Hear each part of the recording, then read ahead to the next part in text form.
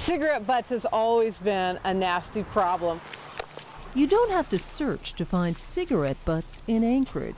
A lot of butts along here. Once they hit the ground, they're there to stay. Actually, those butts are made out of acetate, which is a form of plastic, and they never go away.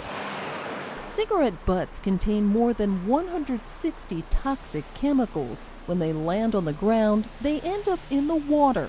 Butts from all over town get washed into storm drains, and those drains empty right into local creeks. It goes to uh, rat poison and benzene and uh, formaldehyde and a bunch of things that are just nasty besides carcinogenic. It's a chemical cocktail that's bad news for fish and other wildlife. They see anything going by and it looks like food, so they can ingest them, but it also will leach out into the water and change the water chemistry over time. Advocates say one way to turn the tide is provide smokers more places to put their butts. But the question is, would they use them? This strip mall has at least three trash cans, and all of them have receptacles for cigarette butts. Look inside, and there are actually a few cigarette butts right in there.